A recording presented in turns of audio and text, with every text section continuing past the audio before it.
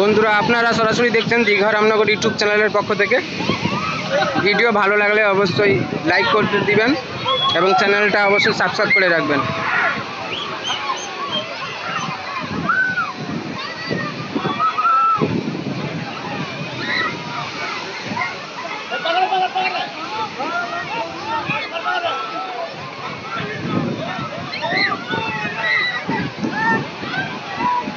হঠাৎ করে একজন ভেসে গেলেন।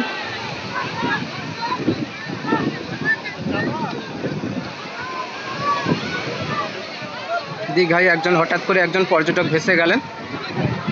কেন জোয়ারের টাইম